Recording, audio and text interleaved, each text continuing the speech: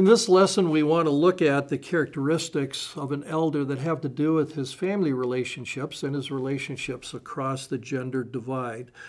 The list are these He is to be the husband of one wife, he's to have children that are behaved, and he's to manage his household well. That first one, the husband of one wife, is broader than what it might seem on first uh, look.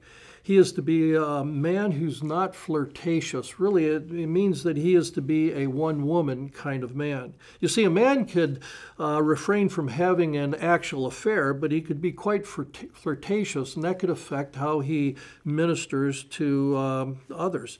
I've heard a number of times of elders who are a little too physical in their interactions with women, maybe a little too handsy, you might say.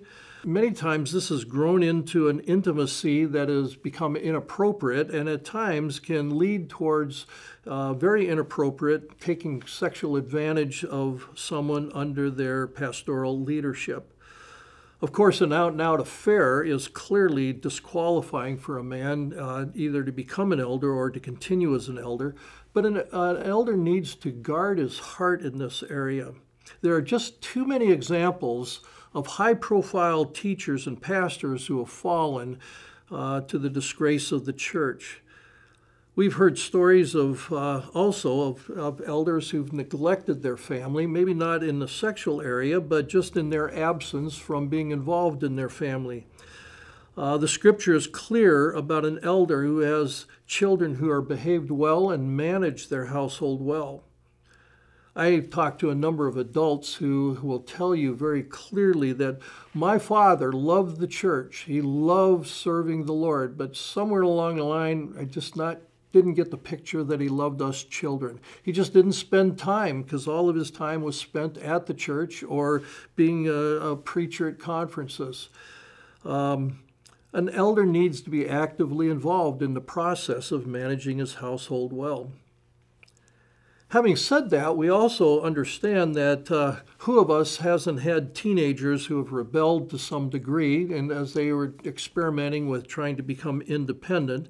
And some of that is natural to happen, but it's the overall character of a man that's at stake. Is that that's what we're looking at? Does he have the character of a man whose children in general are behaving well, or uh, the character of a man whose household is uh, doing well? Or is it his household characterized as being one of disarray? Uh, to be sure, these things are subjective when looked on on the outside, but my concern with you taking this course now is not so that you can evaluate others, but so that you can evaluate yourself. Don't go light on this area. It's absolutely important for a, how a man uh, handles his household situation would certainly reflect on how well he's going to handle situations in the family of God, the local church. So study these things well because to fail in these areas will very clearly disqualify a person for being an elder.